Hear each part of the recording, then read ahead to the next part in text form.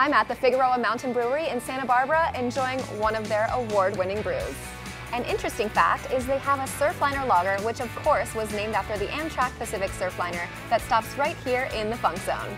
Just one of many reasons to visit Santa Barbara this summer. For more, go to KDOC.TV and click Summer of Fun.